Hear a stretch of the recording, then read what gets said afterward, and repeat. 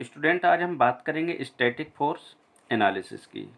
आपके two type दो type के फोर्स होते हैं static force and dynamic force जब भी आप किसी भी बॉडी को एसिलरेट करते हो तो आपको पता है, वो बॉडी उस एसिलरेशन का अपोज करती है। मीन्स उसके जो अपोजिट डायरेक्शन में हमारा एक फोर्स लगता है, और उसको हम बोलते हैं इंडेसिया फोर्स सो so, अगर हमें बात करें जो भी आपके मशीन कंपोनेंट्स हैं चाहे आपका फोर बार मैकेनिज्म हो स्लाइडर क्रैंक मैकेनिज्म हो उनमें आपको किसी एक लिंक पर आपको इनपुट मोशन देना होता है तभी हम उसमें आउटपुट मोशन ले सकते हैं। तो अब होता क्या है जब भी आप किसी भी बॉडी को एसिलरेट करोगे तो उसमें हमारे इंडेसिया फोर्सेस डेवलप होंगे। और अगर इन इंडेसिया फोर्सेस का मैग्नीट्यूड अगर आपका स्मॉल है तो उस केस में हम उनको नेग्लेक्ट करके चलते हैं as compare to applied force तो उन, उस केसेस में आप इंडेसिया फोर्सेस को नेग्लेक्ट कर सकते हो, लेकिन जहाँ पर भी हमारे इंडेसिया फोर्सेस के मैग्नीट्यूड ज़्यादा होगा, उस केस में आपको कंसीडर करके चलना पड़ेगा। सो स्टैटिक फोर्स बेसिकली हमारा फोर्स का एनालिसिस होता है। Force analysis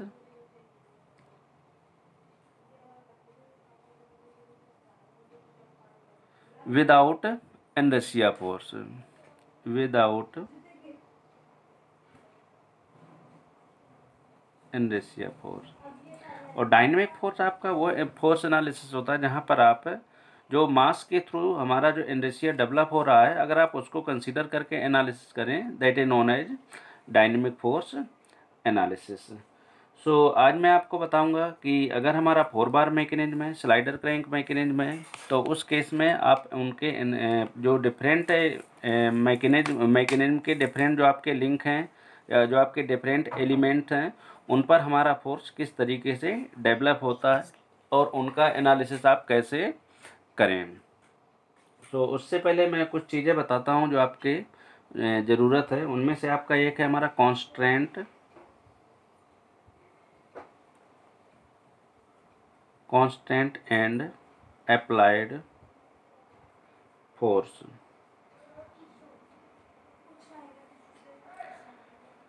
Constant force आपका वो फोर्स होता है जो किसी बॉडी पर इंटरनली डेवलप होता है by the application of external force आप क्या करते हो? किसी भी बॉडी पर एक एक्सटर्नल फोर्स अप्लाई करते हो, तभी हमारा मूवमेंट होगा। अब एक्सटर्नल फोर्स की वजह से उस बॉडी के अदर मेंबर पर कौन कौन से फोर्सेस डेवलप हो रहे हैं? That is known as constant force तो आप कह सकते हो, जो हमारा कांस्टेंट फोर्स होता है, वो एक्टिव और रिएक्टिव फोर्स होते हैं किसी भी एलिमेंट पर. Active and reactive forces on the element जबकि अप्लाइड फोर्स आपका एक्सटर्नल फोर्स होता है, जो कि आप किसी भी बॉडी पर अप्लाई करते हो। मैं एक एग्जांपल के थ्रू आपको, ये आपकी स्लाइडर क्रैंक मैकेनिज्म है। और स्लाइडर क्रैंक मैकेनिज्म में ये हमारा पिस्टन है। अब जो हमारा फोर्स आएगा वो पिस्टन पर आएगा। सपोज़ दैट ये फोर्स आ रहा है आपका। तो that is known as external force जो आप किसी भी बॉडी पर अप्लाई कर दो। अब इस फोर्स की वजह से इस पर कितने कौन कौन से फोर्सेस आएँगे? इस पर हमारा क्या डेवलप होगा? That is known as active और रिएक्टिव फोर्सेस जो कि एक एक्सटर्नल फोर्स की वजह से अदर मेंबर पर जो आपके एक्टिव और रिएक्टिव फोर्सेस डेवलप हो रहे हैं that is known as constant force इसके अलावा ये सभी को पता है हमारा स्टैटिक इक्विलिब्रियम की जो हमारी कंडीशन होती है, वो आपकी vector sum of all forces acting on the body is equal to 0 and vector sum of all the moment about any point is equal to 0 that is the condition of equilibrium so summation of all the forces equal to 0 and summation of torque equal to 0 so that is the condition of the static equilibrium अब अब बहुत सारे आपके ऐसे machine elements होते हैं। मैं एक एग्जांपल लेके बात करता हूँ कि बहुत सारे आपके जो मशीन एलिमेंट हैं, उनमें मैं फोर बार मैकेनिज्म ले लेता हूँ यहाँ पर।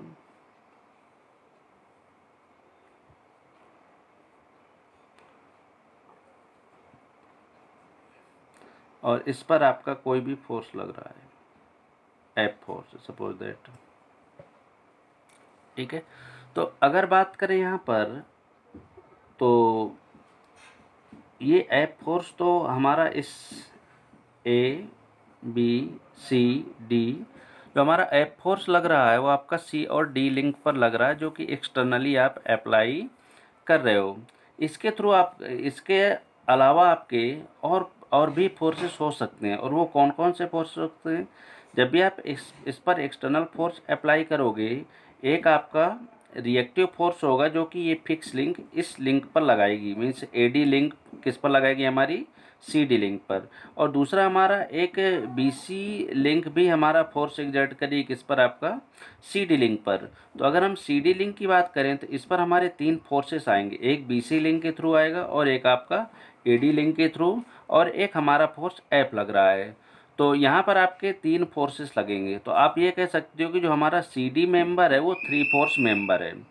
इसके अलावा अगर हम बी सी की बात करें, जो लिंक हमारी बी सी है, इस पर हमारे दो फोर्सेस आएँगे। एक तो आपका ए बी की वजह से आएगा, दूसरा हमारा सी और डी की वजह से आएगा। तो आप कह सकते हो जो बी सी लिंक है, वो हमारी टू फोर्स मेंबर है। इसके अलावा जो हमारा, ए बी लिंक है, इस पर हमारा हमेशा आपका शॉर्टेस्ट लिंक है। तो हम ये जूम करें कि इस पर हमारा क्या डेवलप हो रहा है। टॉर्क डेवलप हो रहा है। तो हम अब बात करेंगे कि जो अगर हमारा टू फोर्स मेंबर है, जहाँ पर आपका टू फोर्स लग रहे हैं और हमारा थ्री फोर्स मेंबर है और थर्ड हमारा two force member and torque. यहाँ पर अगर हम ए बी की बात करें तो एक ए और डी के थ्रू फोर्स लगेगा, एक और बी सी के थ्रू फोर्स लगेगा ए बी पर और इसके अलावा इस पर हमारा टॉर्क डेवलप होगा। तो हम बात करेंगे तीनों कंडीशन में कि अगर हमारी ये कंडीशन है कि टू फोर्स मेंबर है थ्री फोर्स मेंबर है and two force member and torque है तो उस समय उनकी इक्विलिब्रियम कंडीशन क्या होगी? तो मैं वन बाय वन डिस्कस करता हूँ कि आपका टू फोर्स मेंबर की बात करें हम।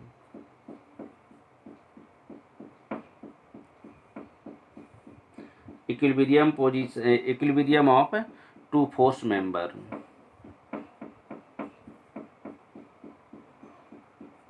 so two force member की इक्विलिब्रियम के लिए आपको पता है कोई भी हमारा एक मेंबर है। ये आपका इक्विलिब्रियम में कब होगा? ये हमारा मेंबर ए और बी है। आपको इस मेंबर को अगर हमें इक्विलिब्रियम में रखना है तो हमें क्या करना पड़ेगा? टू फोर दो फोर्सेस लगाने पड़ेंगे और वो दो फोर्सेस कैसे होने चाहिए? सेम लाइन पर होने चाहिए। टू फोर्सेस होने चाहिए, दोनों फोर्स आपके सेम लाइन पर होने चाहिए और वो दोनों फोर्स आपके इक्वल एंड अपोजिट होना चाहिए। तो फॉर एग्जांपल हमारा एफ़ वन फोर्स है और एफ़ टू फोर्स है तो इनको हमें किस कैसे लगाना है? दोनों आपके सेम लाइन पर होने चाहिए। या तो आपके दोनों कंप्रेसिव नेचर के होंगे, या तो आपके दोनों टेंसाइल नेचर के होंगे। तो दोनों फोर्सेस आपके सेम लाइन पर होने चाहिए और इक्वल एंड अपोजिट होने चाहिए। मैं कंडीशन लिख देता हूँ। Act on the same line have equal magnitude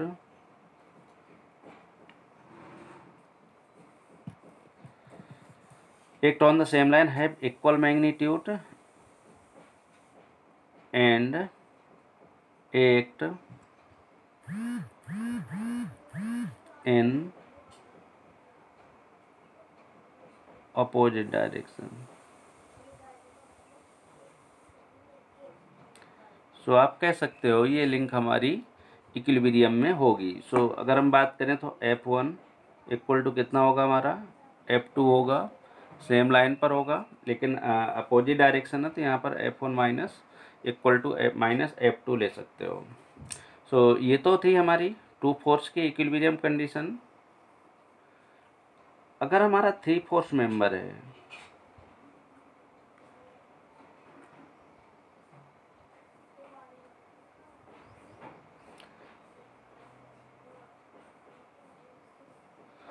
तो थ्री फोर्स के मेंबर के केस में जो हमारी इक्विलिब्रियम पोजीशन होती है, वो होती है कि जो हमारे तीनों फोर्सेस हैं सपोज़ दैट ये कोई आपका बॉडी है और इस पर हमारे तीन फोर्स लग रहे हैं सो जो आपके तीनों फोर्स हैं, वो हमारा एक ही लाइन पर आकर एक ही पॉइंट पर आकर के इंटरसेक्ट होने चाहिए। सो जो हमारे थ्री फोर्स की फ़र्स्ट नेसेसरी कंडीशन होती है कि तीनों फोर्स आपके एक ही पॉइंट पर आकर के इंटरसेक्ट होने चाहिए। तो आप कह सकते हो, ये बॉडी हमारी इक्विलिब्रियम में है। दूसरी जो कंडीशन है, वो है इनका जो वेक्टर सम है, वो इक्वल टू आपका ज़ीरो होना चाहिए। तो मैं यहाँ पर आपका कंडीशन ले फ़र्स्ट कंडीशन है जी the line of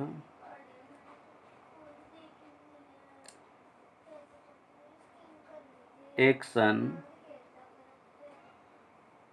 of the forces intersect at a point.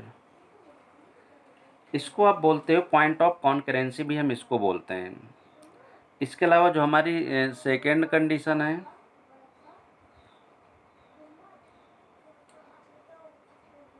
the resultant of the forces is zero जो रिजल्टेंट होना चाहिए, वो आपका ज़ीरो होना चाहिए, या इसको हम बोलते हैं द वेक्टर सम जो होगा हमारा तीनों फोर्सेस का, वो इक्वल टू ज़ीरो होगा। अब यहाँ पर कंडीशन ये होती है कि सपोज़ दैट हमारा एफ़ वन फोर्स है एफ़ टू फोर्स है और ये आपका एफ़ थ्री फोर्स है। यहाँ पर एक फोर्स आपका मैग्नीट्यूड डायरेक्शन दोनों में नॉन होता है। फॉर एग्जांपल एफ़ वन आपका मैग्नीट्यूड और डायरेक्शन दोनों में नॉन है। तो बाकी जो दो फोर्सेस हैं एफ़ टू और एफ़ थ्री आप उनका डायरेक्शन और मैग्नीट्यूड फाइंड आउट कर सकते हो इस मेथड से। सो so, मैं आपको दोबारा अगेन रिपीट करता हूँ ये आपका कोई भी एलिमेंट है इस पर हमारे थ्री फोर्स लगना है। F one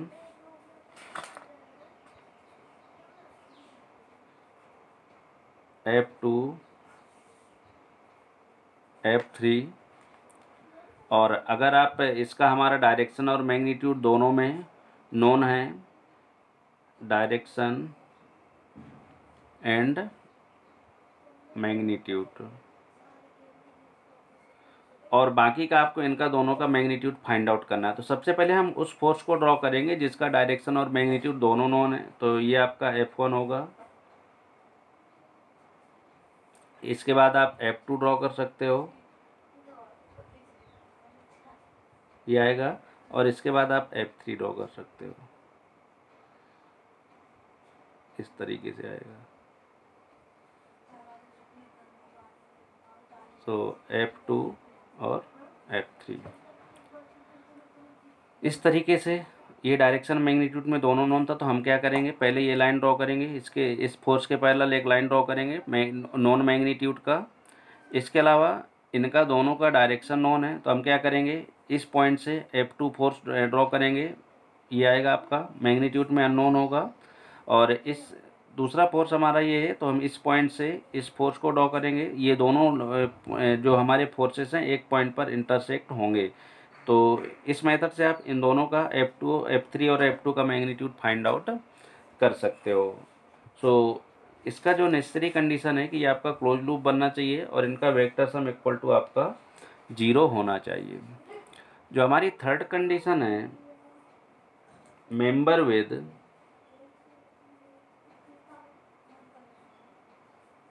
two forces and torque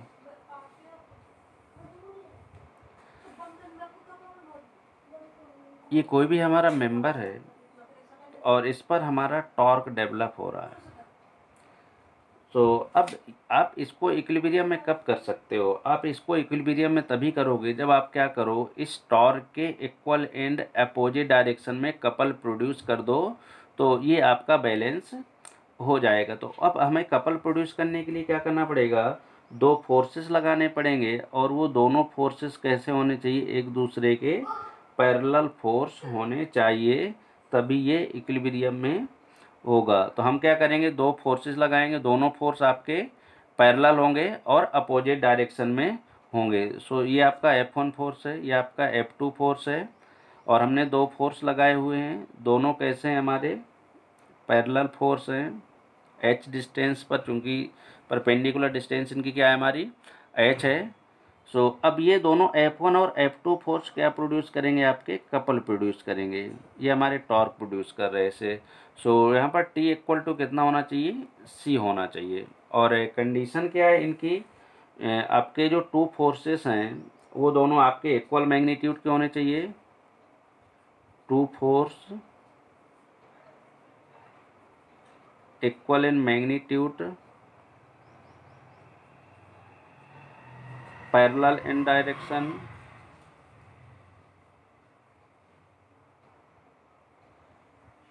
in opposite in sense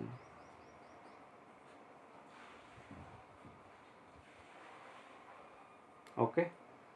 अब ये जो दोनों फोर्सेस हैं, हमने लगाए हुए two forces equal magnitude, parallel in direction opposite in sense.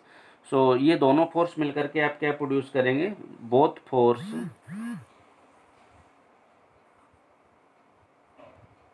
both force, form a, couple, which is equal and opposite to torque so both force आपके, दोनों फोर्स मिल करके एक कपल प्रोड्यूस करेंगे, जो कि होगा हमारा टॉर्क के इक्वल सो so, ये तो हमारी इक्विलिब्रियम कंडीशन थी। तीनों के केसेस में two force member three force member and two force member and torque आगे के हम लेक्चर में डिस्कस करेंगे कि इसी इसी मेथड को एडॉप्ट करते हुए स्लाइडर क्रैंक मैकेनिज्म और फोर बार मैकेनिज्म का फोर्स एनालिसिस कैसे करें। Thank you very much